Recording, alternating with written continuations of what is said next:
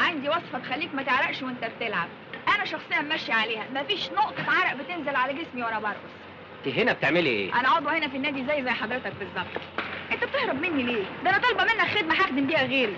مش وقته أمال إمتى؟ قريب قريب قوي. جراية عبد الحميد بيه. دول بيقولوا إن بتوع السياسة هم اللي بدعوا الاتيكيت. وبعدين أنا واحدة ست يعني تقف تكلمني ده مش مكان نتكلم فيه يا مدام. أمال إيه المكان اللي ينفع؟ البرلمان مجلس الوزراء قاعة الاجتماعات الكبرى. انت مكسوف مني. بالظبط. آه. وما اتكسفتش ليه لما كنا إحنا الاتنين لوحدنا والشيطان تالتنا؟ غوري دلوقتي من قدامي وهتصل بيكي بالتليفون. لا لا لا لا لا. ده انت بتشتم اهو. ناقص تضربني بالمضرب اللي في إيدك. يلا اعملها خلي كل اللي في النادي يتفرجوا عليك. اعزمني دلوقتي على قهوة. خلينا نخلص ونرسي على بر.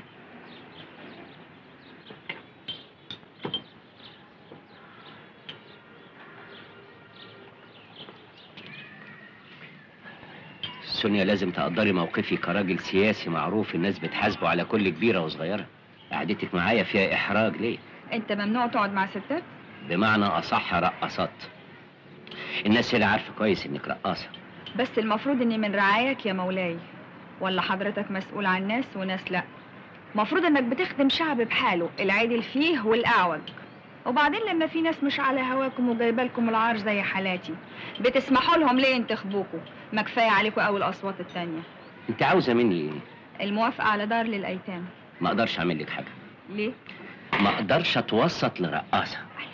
إيه الحكاية رقاصة رقاصة؟ ما إحنا الاتنين زي بعض يا عبد الحميد. أنت قلت الأدب. وأنت كذاب علشان بتكذب على نفسك قبل ما تكذب على الناس. كل واحد فينا بيرقص بطريقته. أنا بهز وسطي وأنت بتلعب لسانك وتخطب. الفرق شاسع يا علمة أنا أقول لك الفرق. إحنا الاتنين بنطلع في التلفزيون. أنا الناس بتتفرج عليا وأنت أول ما بتظهر الناس بتقفل التلفزيون لأن رقصك ملوش جمهور. إنما أنا رقصي له جمهور عارف ليه؟ لأن بضاعتك رخيصة. هدفك تشعللي الغرايز المكبوتة عند الناس. أنت شغلك الإثارة. اسم الله على مقامك الرفيع. وأنت شغلك يبقى إيه؟ لما توعد الناس بمستقبل مشرق ويجي بكرة ما يطلعلوش شمس. يا عبد الحميد بيه أنا مش عايزة غير الموافقة على المشروع بتاعي. عايزة اربي أطفال.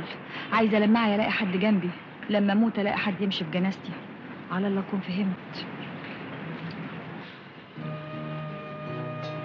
عن إذنك.